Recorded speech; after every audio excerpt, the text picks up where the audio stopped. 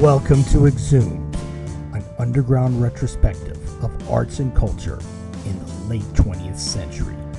I'm your host, James Wallace, and tonight we look at Marky Smith and the Fall.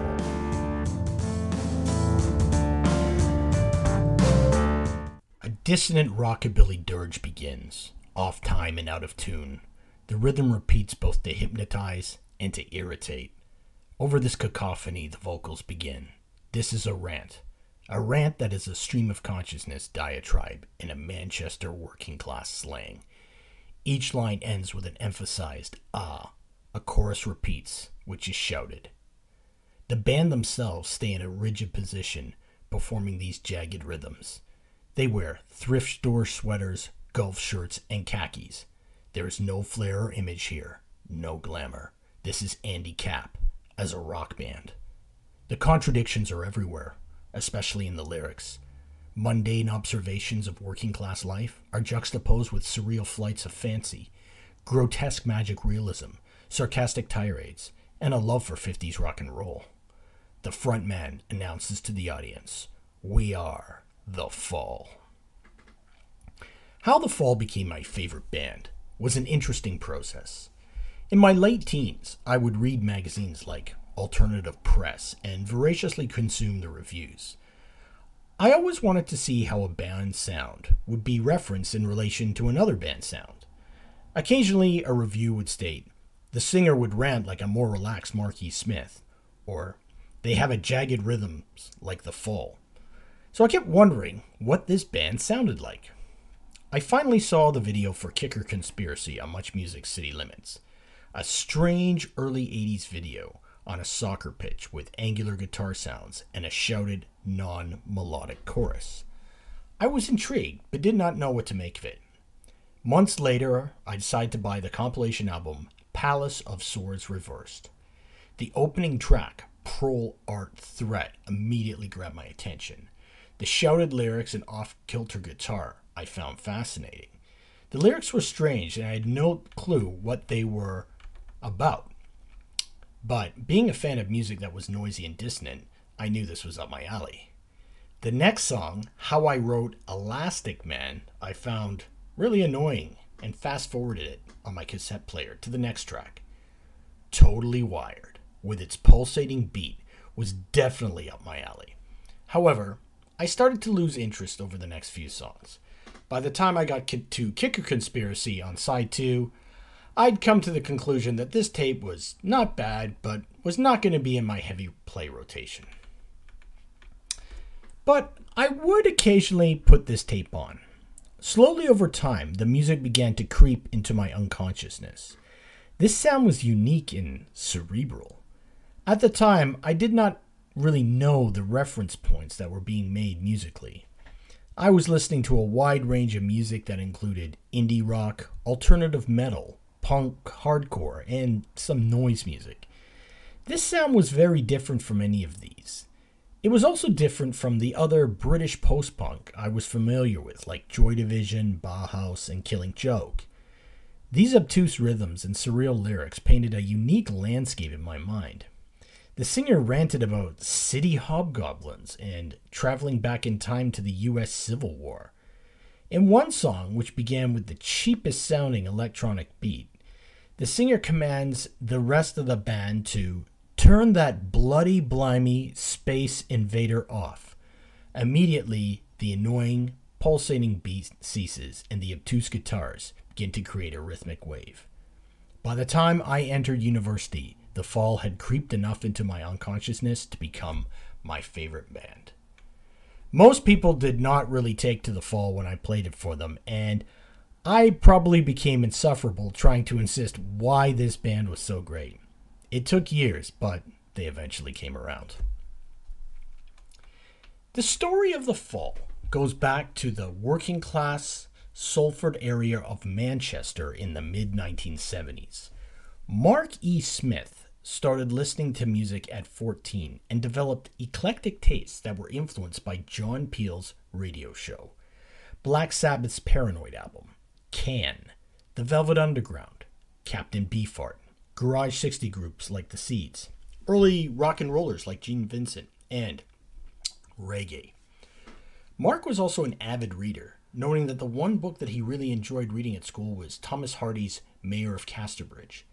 But he also consumed the fantasy and science fiction of Edgar Allan Poe, H.P. Lovecraft, Philip K. Dick, Colin Wilson, Clark Ashton Smith, Arthur Machen, M.R. James, and Algernon Blackwood. The hardboiled detective fiction of Raymond Chandler, literary heavyweights like Malcolm Lowry, the poetry of Ezra Pound, and the experimental writing of Wyndham Lewis. All of these literary influences would stew together and help Smith develop what he described as a unique approach to writing.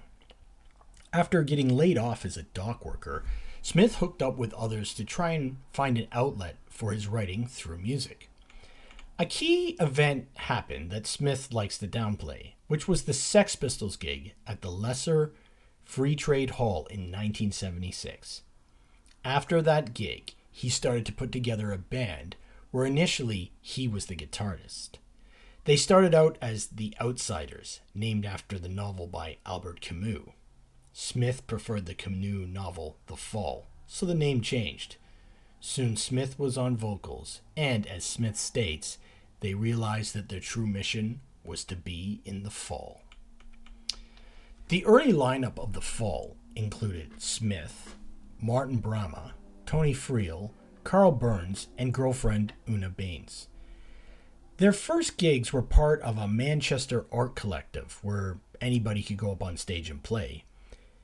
They shared the stage with brass bands and a man who created compositions with samples of bird noises. Soon they were able to get gigs opening up for the Buzzcocks, whose manager funded the first recordings of the fall. Bingo Master's Breakout was recorded in November 1977, but did not end up getting released until August 1978. By that time, Friel and Baines had quit beginning this long tradition of revolving lineups of the fall. The first album, Live at the Witch Trials, was released in March 1979. By this time, eager 16 year old Marc Riley had joined the band, much to the annoyance of the other members. Recorded in one day, the album contains surprisingly clean sounding guitars playing dirgy rhythms, with Smith barking on about a variety of subjects, including drug paranoia, lack of decent jobs for the working class, and the shallowness of the music industry. Smith's lyrics would describe the mundane aspects and dialogue of everyday life juxtaposed with grotesque surrealism, all the time dripping with cynicism and sarcasm. These complex rants would always circle back to a repetitive chorus. Smith's vocal approach was not to sing, but rather to shout. In the song Your Heart Out from the album Dragnet, Smith declares, I don't sing, I just shout. The Mancunian cadence of his vocal delivery would result in many lines ending with an enunciated ah. The band soon got the attention of maverick British DJ John Peel, who would invite them to record Peel sessions at his studio. This first recording would begin the beginning of a long relationship, and the Fall would record more Peel sessions than any other music group or artist. Two other significant factors during this time period were the exit of founding member Martin Bramah, who had accepted the fact that Smith was the clear leader of the group and they would never again be on equal footing. The other factor was Smith's new girlfriend, Kay Carroll, taking on the role of manager. Her aggressive tactics would frighten many promoters. In October 1979, Dragnet was released on Step Forward Records. This album was much more gritty and lo fi in production than its predecessor. On the opening track, Smith asks, Is there anybody there? An angular guitar riff prances around for a few bars before the listener is overwhelmed in a dissonant cacophony of rockabilly rhythms. Many of the songs are dirgy, sinister tirades of paranoia, such as A Figure Walks or Before the Moon Falls. It was on this album that Smith began to solidify his vision. A British working class band that played a kind of avant garage music that was just as much rockabilly and skiffle as it was Can and Captain Beefheart. This album marked the debuts of both bassist Stephen Hanley and guitarist Craig Scanlon, two stalwarts who would remain with Smith for many years to come. The band would sign to Rough Trade in 1980, and they would release two seminal albums Grotesque After the Gramme and The Slates EP. On the Grotesque EP, the listener is introduced to Joe Totale, the yet unborn son who will lead a rebellious northern army against the elite in southern England in the epic song The North Will Rise Again. On the album, Smith comments on people saying he rips off Johnny Rotten, British workers making money in Europe, and the contrast between intellectuals and the working class. A good mind don't make a good pub mate. Slates contains the great song Prole Art Threat, but the Fall were also releasing singles regularly, and in 1980 they released Totally Wired. Smith describes the effects of being on amphetamines, a drug that Smith would use and abuse until his death. The song describes Smith being irate, peeved, and worried after drinking a jar of coffee and taking some of these. In the live version, he would quote Hunter S. Thompson When the going get weird, the weird turn pro. The Fall made their first tour of the United States in 1981, which was captured on the album Part of America Therein, 1981. The LP starts with the band being introduced as From the riot torn streets of Manchester, England, to the scenic sewers of Chicago. The band was developing a following stateside among college radio listeners and more open minded hardcore punk fans. The band would go on to record what many Fall fans consider to be their greatest album, at least of their early albums, in 1982 Hex Enduction Hour. Smith was becoming frustrated by the Rough Trade label and did not want to be pigeonholed as a Rough Trade band. The band would release the single Lie Dream of a Casino Soul on the small label Kamera Records. The group would end up recording the first of the tracks of Hex Enduction Hour on their travels to Iceland. A track in the album would actually be named after the country, and the Fall would build a serious fan base there. The band's lineup now included two drummers, adding to the rhythmic cacophony of the tracks. The production was purposely lo fi, and the influence of the Velvet Underground, Can, and Captain Beefheart were on full display. Smith was making a statement against what was happening at the time.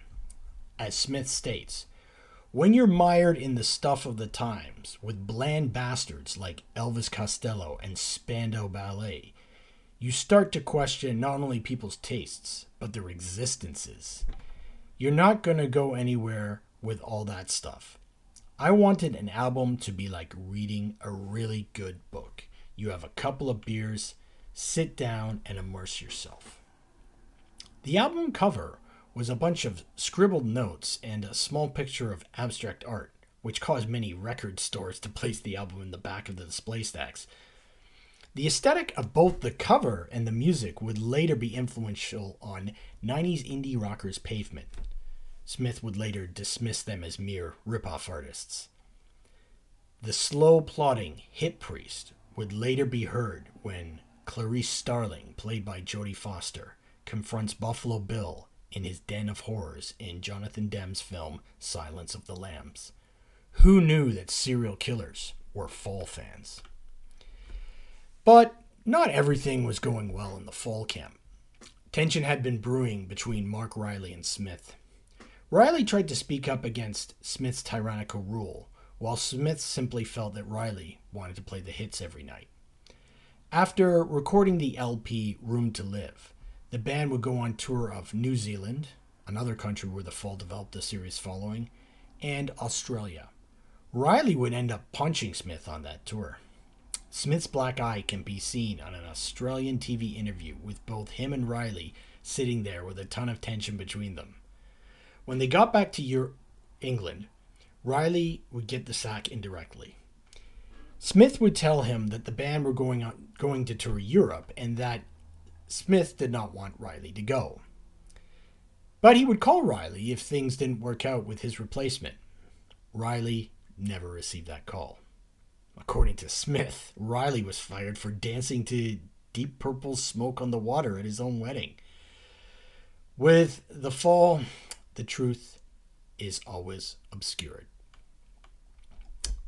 Things would end up taking a different turn for the fall on their 1983 tour of the United States. Tune in next week's episode to see how an American girl would impact Smith's vision of the fall.